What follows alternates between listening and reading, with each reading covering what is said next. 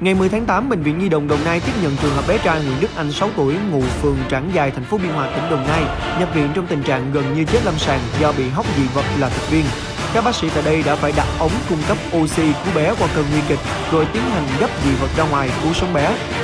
Trước đó, bác sĩ Phan Xuân Trung, công tác tại Trung tâm chẩn đoán Y khoa Medic Thành phố Hồ Chí Minh, chia sẻ câu chuyện nữ đồng nghiệp của ông vừa mất đi một người con gái 11 tuổi. Theo đó, bé gái bị hóc hạt trân châu trong lúc uống trà sữa cùng mẹ.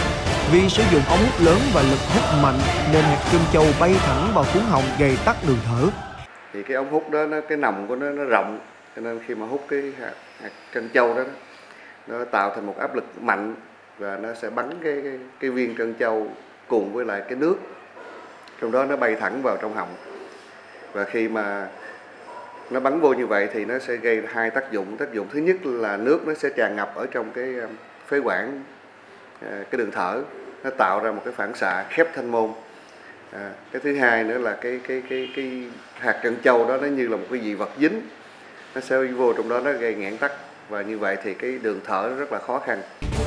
Trà sữa trân châu hay các loại thức ăn, đồ uống có viên, hạt luôn tiềm ẩn nguy cơ hóc dị vật ở trẻ gây ra hậu quả nghiêm trọng, thậm chí là nguy cơ tử vong đối với trẻ em.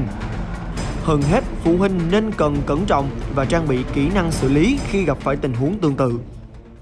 Trẻ em sơ sinh hay là những à, trẻ nhỏ mà bỏ lên tay được thì chúng ta phải úp nó cho cái cái đầu của nó, cái miệng của nó xuống dưới đất, vỗ lưng à, để cho nó tống tháo cái cái cái dị vật cái chất sặc đó ra à, còn nếu như mà là, là người lớn trẻ lớn thì người ta dùng cái biện pháp gọi là nghiệm pháp Heimlich.